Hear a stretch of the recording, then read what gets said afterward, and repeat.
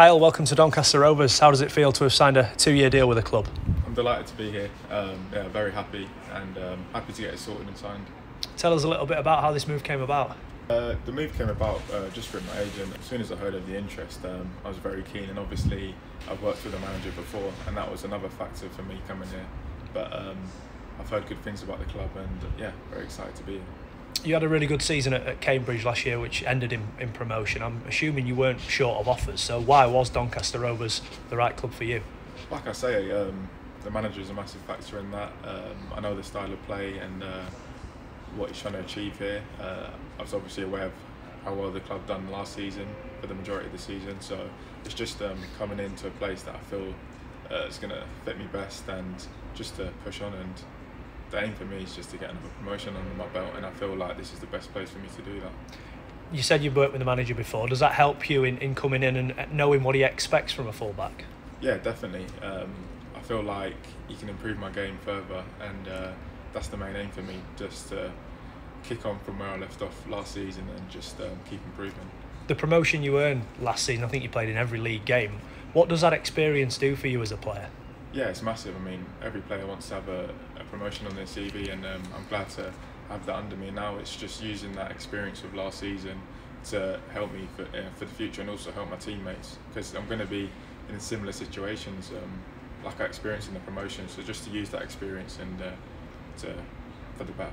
Does this feel like the next logical step in your career? Yeah, massively. Um, that's why I want to be here because every player wants to progress to the highest level that they can, and I feel like this is the right place for me to do that. And um, yeah, definitely. Two goals and six assists from right back last season. Does that show where your assets lie?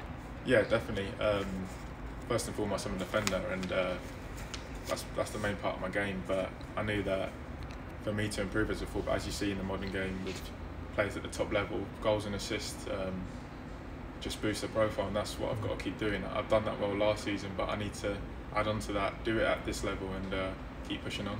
Is that the biggest thing for you? Of course, you're still only young, but having that experience in League Two now and building yourself up, showing that you can do it at, at the next level. Yeah, definitely. Um, like I say, the main aim for every player is to play as high as possible, and um, just need to keep building on what I've achieved and uh, keep pushing, but also to take this club back to where it should be. You obviously signed a couple of weeks shy of pre-season. How excited are you to get going with your new teammates? Yeah, I'm looking forward to getting started. Um, obviously, I've enjoyed the off season, especially after the promotion. But now it's time to kick on and uh, get ready for for next season. Just finally, then we touched on your, your goals and assists, and of course your record at, at Cambridge last season. What can the, the Doncaster supporters expect from you on the pitch next season?